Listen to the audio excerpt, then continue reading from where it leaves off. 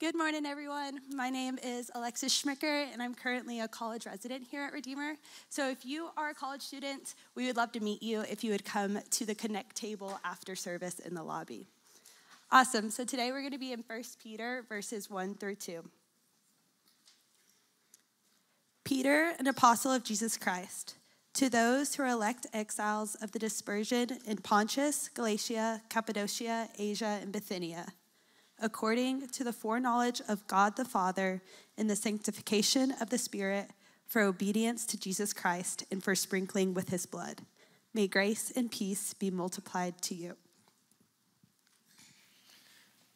Alexis, thank you. Uh, good morning, everybody. Uh, my name is Dusty, and once upon a time, I was one of the pastors here. I've been kind of out of pocket a little bit lately. So if you're newer, you're like, I don't know who you are. Well, people that are around uh, might recognize me from a little ways back, back whenever I used to um, kind of be around on Sundays, I guess. So, hey, glad you're here. And um, this is so much fun of a time of year because we got a lot of a lot of folks that are new. Like we're meeting you today, and people are going to come to faith in the next few weeks and months. People are going to get reconnected to Jesus. People are going to get connected to the church. We're going to have uh, people that will be leader, leaders here in both the adult world world and the college world, and, and we're never going to even have known you before today, and you're going to be, we're going to wonder how like we got along without you in a few months. And I just love every aspect of that. It's so, so much fun. So um, I, I, did want to, uh, before we jump into our time in the Bible, um, there's something that was really exciting that happened last Sunday that I just wanted to show you a couple of pictures of. So um, this, uh, this is a church that we have, have sent out together with a, another church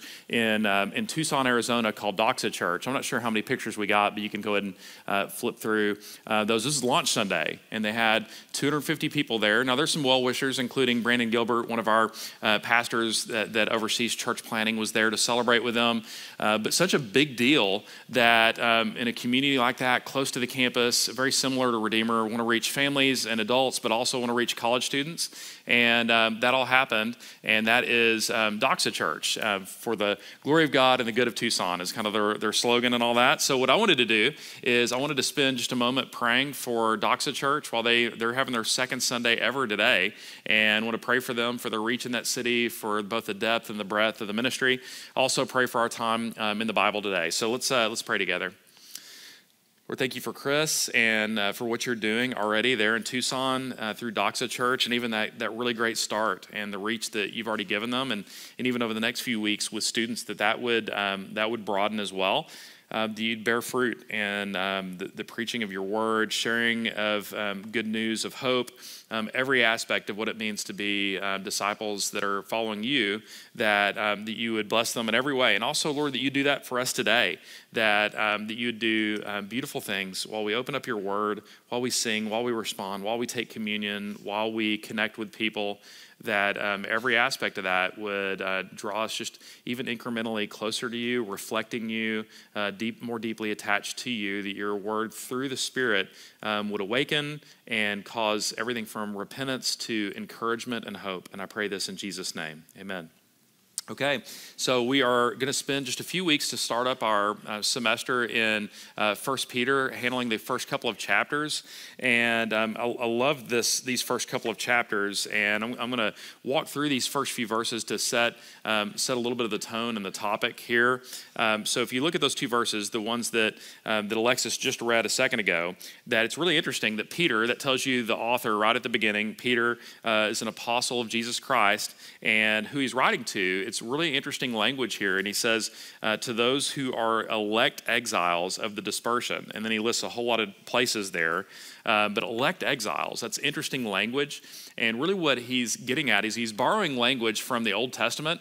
That in the Old Testament, that whenever uh, whenever Israel were, they're kind of steamrolled by a bunch of foreign powers, um, you know, Persia and Babylon and um, Assyria. There was a whole bunch of them. And and what would happen on a lot of these defeats is they were taken out of the Promised Land, out of you know Israel, and they were they were dispersed and they were taken taken as exiles, and then they began to be dispersed all over um, all over the ancient world world, even beyond that. I mean, if you, whenever you're reading in the New Testament and you're hearing about, uh, you know, Jews and Gentiles and places in Rome, well, that's the dispersion. And they were dispersed all over the ancient world, really. And, but it's interesting language here that he's saying that, um, that you are elect exiles that you're exiles, but not, not one race. These aren't like Jewish people scattered all over the ancient world, but Christians that, uh, that are described as exiles and dispersed um, all over the world. And it's interesting because um, you know the exile um, is, is saying something is that um, that you're uh, you're not been sent away from like a homeland per se, but it's uh, kind of an interesting way of saying that you have a home in another place, namely heaven. You have a king, you have a kingdom of another place. You belong somewhere else, and you may be citizens of the United States of America or Greece or Japan, or it could be anywhere. Uh, but you actually you have another citizenship. You're elect exiles. You've been elect. You are saved by the grace of God. Um, you've been uh, you've been uh, you've been set apart for Him according to the foreknowledge, verse two, according to the foreknowledge of God the Father, which goes along with that word elect, um, in the sanctification of the Spirit. So there's a a set apart, um, a a holy making uh, work of the Holy Spirit and all of this is for the obedience to Jesus um, and for the sprinkling with his blood. So through the cross, um, you have all, by the way, some people will say, you know, that Christians invented the Trinity, you know, several hundred years you know, after the fact, after the time Jesus was around, I'm like, I don't know, man. That, that sure seems like it's there real early on. That you've got uh, you've got the uh, you know the foreknowledge of the Father, the sanctification of the Spirit, obedience to Jesus, all three persons of the Trinity mentioned in one verse there. That uh, that what God has been doing, and so what all of this is painting a picture of is it's trying to tell people that are suffering. That's the context. Is people that are suffering pretty mightily for their faith, uh, fairly intense persecution going on for those that would call themselves Christians, that it's, it's framing something here and saying, okay, you're, you're suffering. The reason you're suffering is because you are, you're elect and God is doing all these beautiful things through the cross, but you don't belong here. Like you're, uh, you're not quite at home in the world that we inhabit. A really great quote that highlights this within the first couple of centuries of Christianity. I just saw this within the last couple of weeks. and it says, this is people outside of the Christian faith talking about Christians. And it said, to them, a homeland is a foreign country, and a foreign country is a homeland. Isn't that interesting? So um, we're out of place in the cultures we inhabit, and yet we can make ourselves, we can, we can fit in pretty much anywhere. Like we don't have to belong to like a Christian country that's over here, but in another place we might not really know how to do it. We can be at home anywhere. We can be dispersed as exiles because our, our deepest attachment is to heaven, but we're also not at home. And this is one of the biggest challenges for me. And we're going to get into this passage here quickly, but um, I'll tell you my biggest challenge, one of my biggest challenges is I often live like I'm making, uh, I'm making a permanent home out of this world. And you'll even hear it in a lot of language that we use about, you know, uh, maybe a young family that's, uh, you're talking to, they've got a house or an apartment, and they're like, man, we're, we're, tr- we're saving up for our forever home you know, our forever home we're trying to save up for. And I'm not criticizing you. I've used words like that before too. And it's like, well, I don't know about forever. I mean, maybe, you know, 20, 30 years, maybe we'll see. Then you'll downsize, then the retirement home and all those things. I'm not trying to get morbid here, but I'm just saying, probably not forever. Probably not. And, um, but we oftentimes are, are living like, hey, this is going to go on forever, you know, trying to recreate heaven sometimes in, uh, in a way, uh, maybe some kind of independence, um, maybe, you know, free from commitments, uh, for uh, trying trying to establish a lot of things that would be um, you, you're going to find in heaven, and we try to be very at home. But here's the rub: is that uh, uniquely for Christians, we are never fully at home ever you know, ever. And you may feel this in a lot of different ways. You know, one would be we have a totally different value system than the world around us, totally different. Um, you, you will find it all the time. Um, you find it in political discourse, you're going to find it uh, in deep values, morality, how we view God, how we view people, how we view things like justice and mercy, and all these things. Like you're going to find yourself constantly at odds, how we view money and possessions and career and success, constantly a different value system. We are elect exiles. We belong belong to a different place with a different value system. And you're gonna you're gonna feel it. Sometimes you're gonna think, no, I really fit in around here. And other times you're like, man, I know I've got a I've got a totally different orientation of what I think is valuable and worth pursuing. And you're gonna feel that. You're gonna feel um, sometimes you may feel even hopeless. I think hopelessness is something that uh, that a lot of us feel whenever we look around and we see so much brokenness and um, we see the scars that are caused by everything from family of origin to uh, people around us and conflict conflict and deep wounds that, um, that exist. And you could see that. You could see, um, see pain points. And, um, or for some of us, it may even be just unmet expectations. And we'll get into some of these things as we go. Um, even one last thing I'll say about it, and then we'll just look into the passage for like a, a, an encouraging help with this reality, since that's who we are, our elect exiles that, that um, are not quite at home in the world we inhabit. Um, I, I saw one social commentator was making this point the other day was talking about freshmen, and you know, like, and we have we'll have quite a few freshmen that'll be around today. Maybe less so in this service, but there'll be a few of you that are here. Uh, but you know, incredible numbers probably of freshmen in the next two services.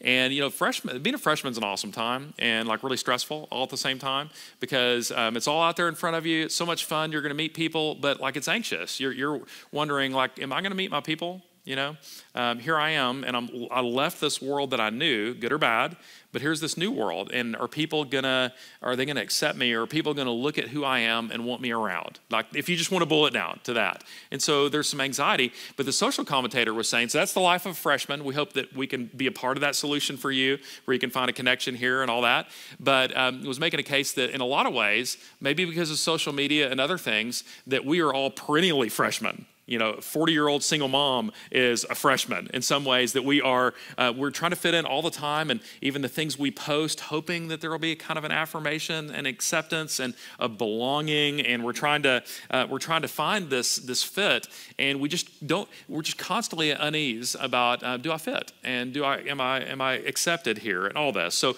that's the context of what kind of people we are when things are unsettled a chaotic world uh, that, and you could talk politics, you could talk anything in the world. What kind of people ought we to be? Like, what does grace uh, form us into be? So let's go and jump into the, the solution for uh, all this. And it just jumps right in here in verse 3. Uh, blessed be the God and Father of our Lord Jesus Christ, according to his great mercy. And so there it is at the very beginning. Mercy is the solution to being, uh, to being not quite at home in the world that you inhabit. Um, he has caused us um, that He's the first mover in salvation. He's caused us to be born again to a living hope through the resurrection of Jesus Christ from the dead. I love this verse. We could spend all morning long on this one verse. Is that that according to His mercy, and that's the bottom line. Uh, we're never at Redeemer ever, not only from the pulpit, but hopefully in our gospel communities, hopefully in our relationships, ever going to get tired of grace ever. Uh, that grace is the best thing ever, according to His great mercy, that He's caused us to be born again, and He's the one that initiated that, uh, that He awakened us. And so there's a, a new life, a new birth, and then you're born again to a living hope. And I love that. And the way that happens is through the resurrection of Jesus Christ uh, from the dead, that the resurrection um, gives us a new birth to living hope. And I think this is really significant because um, I think that hope is something that is in short supply. Like, I think you'll hear a lot of positive talk about things. Uh, we just got to have, you know, faith and we got to hope that things will be okay. But if you really start pressing people, like about real specific things, maybe about a, a particular sin pattern, who knows? And people are like, yeah, I don't think that can change. Or maybe about a relationship, a relationship that is messed up and uh, where people it just you'll, you'll, hear people talk and you'll be like yeah I don't, I don't think that's ever getting any better. I think it is what it is. How about that marriage? Yeah I, I'm, I, I think hope is too painful for me to live in there you know? How about that our world that there might be a great future for our children and grandchildren? Yeah yeah i have seen this world you know and on and on. Like there's all these things where we'll have the right answers about things but we get really cynical really jaded about God, about people, about ourselves, about all of it. And uh, this is incredible. What this is saying here is that, okay, yeah, you're, again, this is where we are not real, at real home in the world we're in. It's a messed up place. It's broken. We're broken. Yes, that's the elect exiles part. But um, God's solution for this is a living hope. And it's not just hope, but it's a living hope, and that's through the resurrection of Jesus. Because Jesus was made alive, uh, because he resurrected from the dead, that there's hope for you. Um, in conversation about hope with a couple of staff members, they were uh, quoted the great Ted Lasso, um, that there was this one moment. Um, he's got a little inspirational talk to his team in the locker room, and um, and you know, the kind of cynical people around were saying, you know, it's the hope that'll kill you. You know, it's the thing that gets you, and you know, don't be don't be hoping about stuff because once you start making it, having expectations, those expectations are dashed, and that's the that's the part that'll kill you. And he said, I disagree. Um, it's the lack of hope that'll get you. And I think, um, I think that Ted's right about that, that the lack of hope, where you just, you know, quit, uh, quit believing um, that God could do a work in you in the middle of living as an exile, in the middle of this pain and kind of that perennial freshman sense of, am I okay? Do people want me around? Is God, uh, does God want me around? Am I going to make it through this life? And, and there's a lot of real broken stuff is that there's living hope. Um, that that's the hopelessness is not the final word. You're actually given something that continues to renew itself because Jesus has been resurrected from the dead. Verse 4 to an inheritance. So you're, uh, you've been born again um, and uh, to a living hope through the resurrection of Christ from the dead to an inheritance that is imperishable, undefiled, unfading, kept in heaven for you, who by God's power are being guarded through faith for a salvation ready to be revealed in the last time. And so there's this inheritance that this is what um, one of the things that Peter is going to refer to a lot, not just heaven, but a, a lot of heaven is um, in the middle of suffering, in the middle of feeling like a perennial freshman and feeling like um, you, you don't really belong and fit in the world around you, that Peter's going to point and go, well, here's the thing. I need you to know how all of this goes, what, what awaits you. You've got this inheritance um, in our world, and this is what's real difficult about when you're trying to make um, a forever world out of the world we inhabit and have all of your deepest dreams for intimacy, connection, comfort, and peace and control. You're trying to make all of these things uh, play out right now, is that you live in a perishable world, in a defiled world, a fading world. And um, in contrast to this, your inheritance is imperishable, undefiled, unfading. It's beautiful, untainted, and it won't ever grow old. So um, even that new couch that you bought, like brand new, off the floor. It's incredible. You bought it white for some crazy reason, and the kids spilt um, spilt the sippy cup on it like 20 minutes into having it at the house. Like that thing is going to be sold for $25 on Facebook Marketplace in 10 years. That's that's where all of that's going. I'm just telling you right now, morbid may it may be. In fact, you, you may even uh, do it cheaper than that, just so someone will haul it away. Because as I've complained about many times, um, Facebook Marketplace makes my head explode. Um, so. Um, so there's all of this, and you have this inheritance that's yours, and it's being guarded through faith, and there's a salvation that's ready to be revealed. And how I like to think of this is that ready to be revealed is that it's, it's like God the Father has his hand up. There's an angel army that's been suited up for a couple thousand years with all the angel drip ready to go. I mean, they're game towel, eye black, sleep, whatever. You know, they're, they're completely ready, and all that has to happen for the salvation to become concrete and real is just drop the hand and it's unleashed and it's all made right and wickedness and sadness and brokenness are sent away forever. And that's where all of this is going. And and this is a real encouragement. Can you see how this helps us? If we're right now when you're in pain when you don't feel like you fit that it's all you feel. It's hard to feel any hope and the, like the your experiences around you are saying it's never going to change. And uh, Peter, here at the very beginning, is saying actually it's going to change, and it's going to change in a dramatic way. Even if your circumstances never change, which they probably will, but even if they never change, as an elect exile, there is coming a day where there's an inheritance that'll never fade. Uh, nothing ever broken or sad will ever happen again. Verse 6.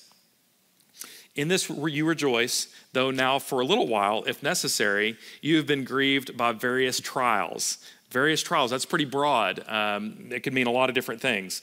Uh, so that the tested genuineness of your faith that's the first time the word tested is used more precious than gold that perishes though it is tested by fire may be found to result in praise and glory and honor at the revelation of jesus christ.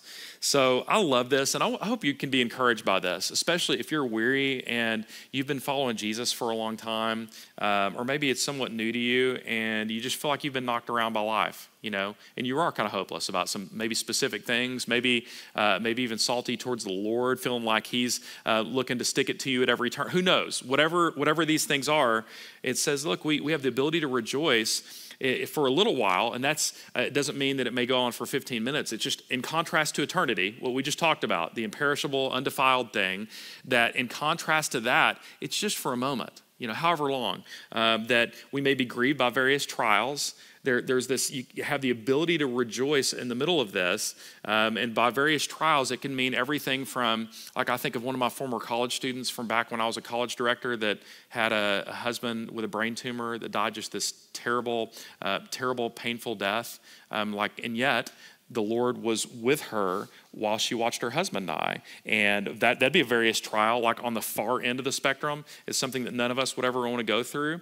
Uh, but it's, there's a, a, variety of things that are included on this. Uh, being that perennial freshman, um, you know, where you're trying to fit in and you've got some social anxiety, could mean also um, even unmet expectations. Some of you here today may be like, I don't know if I've got any intense suffering, but you know what it was like thinking you were going to be on the varsity team and you, you weren't a starter. You know, um, you thought that you know she would like you, but she didn't, and um, you thought you would get into this school, but you didn't. You thought you thought that it was going to be this next life stage was really going to be really fulfilling when the kids uh, were potty trained, and it was all it felt like a lot like the current life stage once you got into that one. And you thought if you could just get that next promotion, that everything would be great, and and you you know what it's like um, to um, even have these unmet expectations. Various trials is it's the full gamut of not being at home in this world. It's every part of it. Intense suffering, things that just, even in the greatest moments, that you still have this now what element, all of that, um, that through all these things we're grieved by various trials, but in the middle of that, we have this tested genuineness of our faith, and not like God putting you to the test and his arms crossed and being like, well, uh, but more like um, through, um, through these challenges, there's like this refining process. That's the language that's used, like gold, like a refining of gold.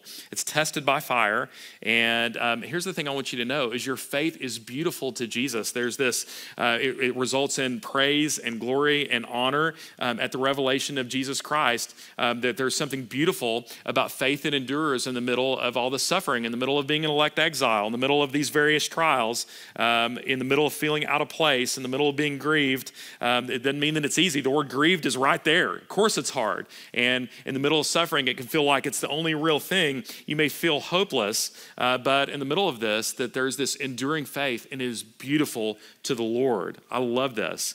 And by the way, I would just say as a quick thing, because I've been talking to Christians a lot.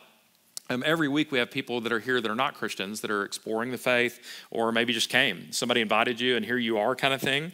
But um, I would even make the case, you know what this is like too. You may not have values like Christians do, like morally, worldview wise, and it may not feel like you belong to another place, but you know what it's like to be in a world where things just aren't quite right. Uh, I'll say it a lot when I do funerals that, uh, like, uh, one thing I'll say, especially when someone's young and dying before their time, um, I'll say sometimes, like, we shouldn't be here. Like, this just is, this is wrong. Like, we should not be here in this moment.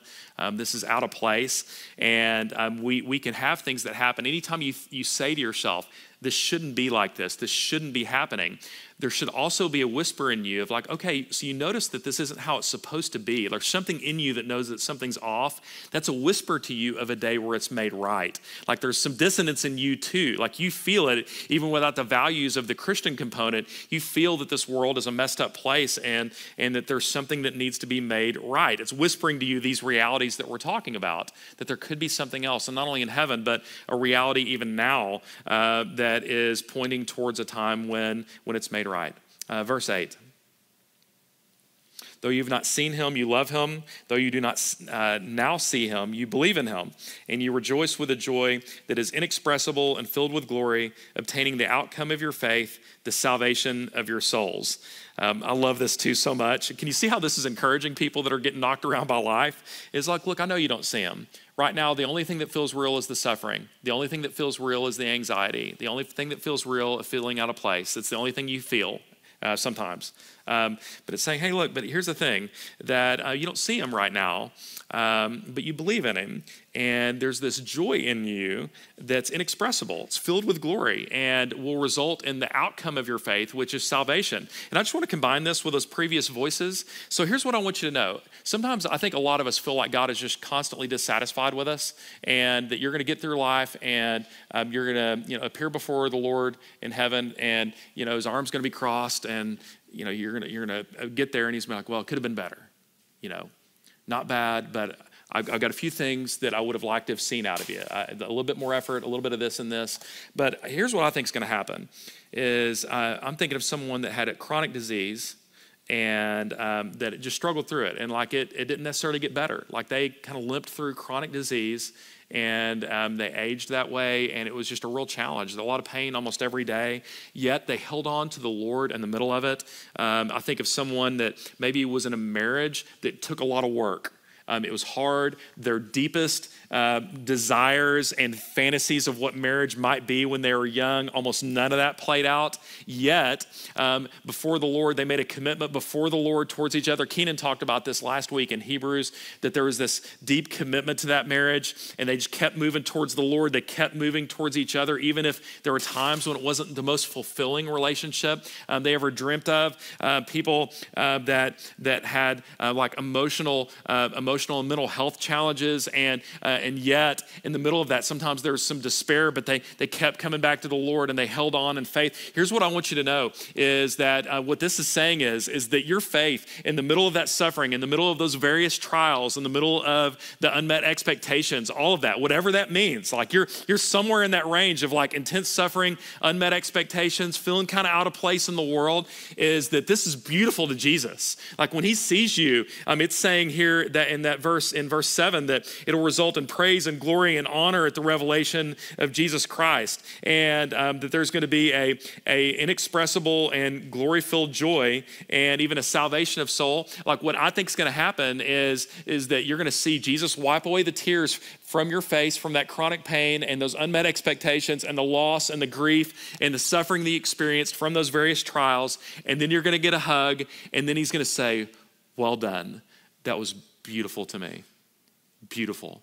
Beautiful. And were you a sinner? For sure. Did you waver on that? Sometimes. Did sometimes you get kind of salty about it? Did sometimes you, you despair? Did sometimes you lose hope? Sure. Uh, but in the middle of that, the faith remained, and it is beautiful to the Lord that brought glory and honor to Him that probably nothing glorifies God quite as much it's probably less at the Super Bowl where you hold the trophy up and you're like, thank you, Jesus, like Kurt Warner did a long time ago. That's great. Yeah, in the wins, let's do that. Uh, but sometimes uh, with tears, where we hope in God, a living hope because of the resurrection, brings more glory to God than anything I can think of. Last few verses. Verse 10 Concerning this salvation, the prophets who prophesied about the grace that was to be yours. So, this is talking about the Old Testament, talking about the era that we live in now, this grace that we experience. Uh, they searched and inquired carefully, inquiring what person or time the Spirit of Christ in them was indicating when he predicted the sufferings of Christ and the subsequent glories. It was revealed to them that they were serving not themselves, but you in the things that have now been announced to you through those who preach the good news to you by the Holy Spirit sent from heaven, things in which the angels long to look. So, so, um, all this is saying that, look, even in just as one final exclamation point on this hope that He's given us in the middle of various trials that we're experiencing while we feel like we're not at home, is that the whole Old Testament, if you're like, yeah, I don't really know the Bible real well, is that the whole Old Testament was anticipating this, this one great story of redemption, and that the prophets were, were trying to even grasp, like, what kind of time and place and what kind of, what would it be like when the Messiah comes? And, and they, they were curious about this. Like, they, they spoke spoke dimly of the hope that we have seen clearly now. And even the angels, the angels in heaven are like kind of looking over over the edge of heaven, if you want to think about it like this, and going, man, no way, no way no way that this is happening. Like there, there's something incredible that we get to experience as human beings that have been redeemed by grace,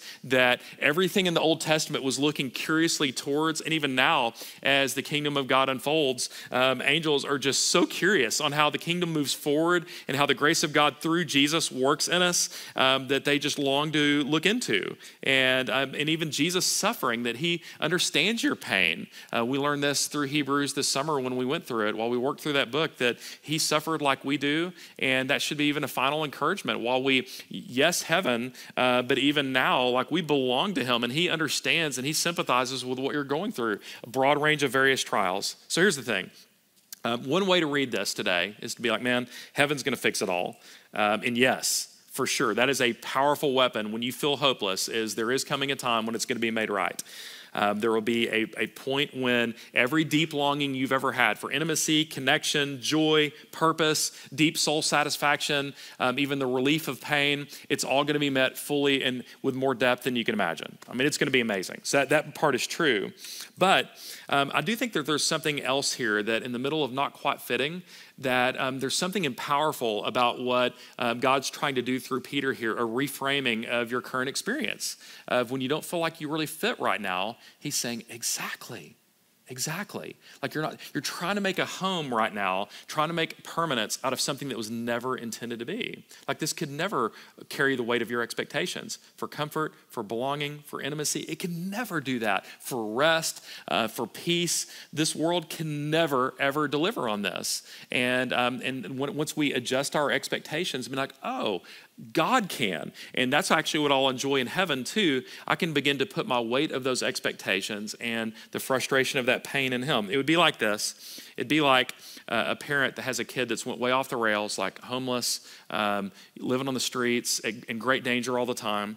You know, one thing you could do and I mean, this would be fine. You could. These all be true things. You could say, hey, look, you're causing mom and dad, your siblings a lot of pain cut that out. Um, you know, it's dangerous out here. Um, you're, um, you know, there's going to be a lot of problems if you persist in this. You know, you're damaging your career. You're all these things, whatever. I mean, you could do, you could say all those things, and I would say that the Bible would, you know, come alongside some of those things. They'd be true. All those things would be true. All right. Um, but what, uh, but it's interesting that what Peter is doing here, it'd be like to use that analogy. It'd be like the parent that, if you used the way Peter's approaching it, would approach that same kid and instead say, hey, look, I need you to know where you belong. I need you to know where you belong. You don't belong on the street. You don't belong there. You belong in our home with me, your mother, your brothers, your sisters. It's safe. We have good food. You don't have to worry about any risk. You don't have to worry about any danger. You share our last name. You belong to us. Like you, you don't belong there. Uh, you belong with us, and you have a home, and uh, you have a new. You have this identity, and you don't have to scrounge for food. Uh, we'll provide for you. You don't fit there. You fit here, and uh, that, that's the encouragement that's being given to us. Is look, you, you're in this world, but you belong with God.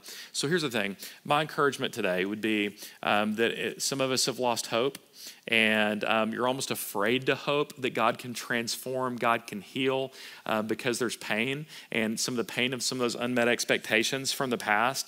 Uh, but we've been born again to a living hope.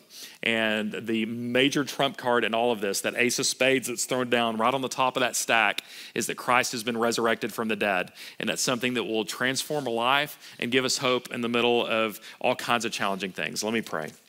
Lord, would you uh, give us hope in the middle of whatever it is that various trials that are going on in this room social anxiety, new starts, um, new town, um, new school, um, or just pain, loss, bereavement, suffering. That, um, that you would give um, you would give grace for all of that experience and more, even new life, new salvation uh, for some, uh, but even hope, hope in um, hope in you. Lord, let that be. And I pray that in Jesus' name. Amen.